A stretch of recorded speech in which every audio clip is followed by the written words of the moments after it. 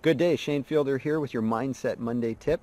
This week's message is how to make a fresh start so you don't have to make a forced start. Mindset Monday. Your week begins now.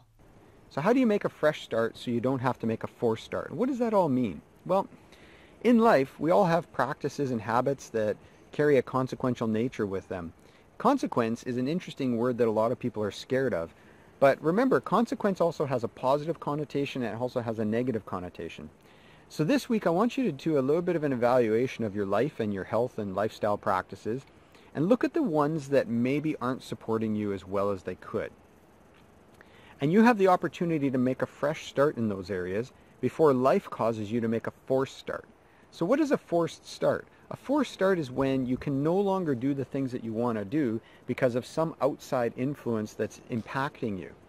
So maybe a forced start is many, many years of neglecting your body and then all of a sudden you're sitting in the surgeon's office and he's saying you got to go under the knife in order to make this happen and there ultimately I can help heal you and fix you but it's going to change and, and, and limit some of the ways that you do things. Well that's a forced start.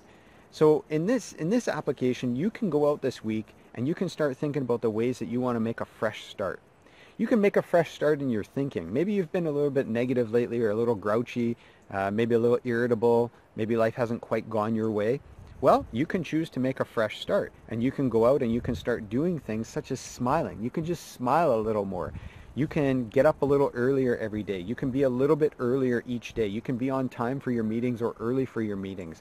You can start deciding to be become a giver than a taker of life. All of these things are small little things that you can do to surmount a fresh start in life so that you don't have to be waylaid by a forced start.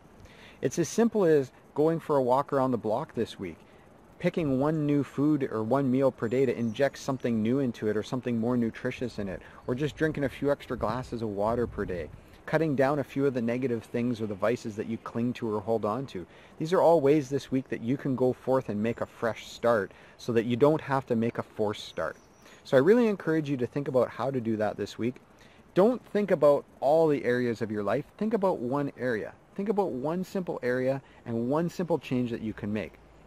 And then attack it and focus on it and start it and try it. All you're going to do is just try and test this out.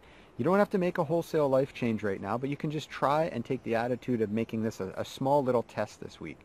And I guarantee you, as you do that, your mindset will strengthen, your focus will sharpen, and then you'll see new results. Anyway, drop us a line. Let us know how you did with this uh, with this edition of Mindset Monday. So I wish you all the best in making a fresh start, so you don't have to make a forced start. どうもありがとう。